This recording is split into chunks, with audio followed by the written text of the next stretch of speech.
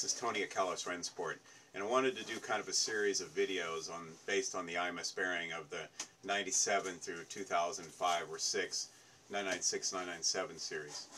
And unfortunately, we can't just cover the IMS bearing itself. We've got to cover um, collateral damage and other items that happen and create the new bearing to go out. And that's what happened here. We have a 2000 996, and we put in a new bearing. We got all the metal out of it, and there was quite a bit of metal, but you have to be careful and and not replace the bearing if there's too much metal. Well, this one, the the, the metal that was remaining in the engine took it out, and um, you can you can hear that bearing.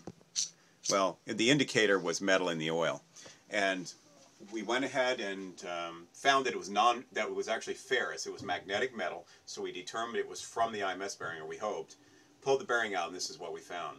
So if you're going to replace your IMS bearing, make sure you don't do it if there's too much metal in the oil already.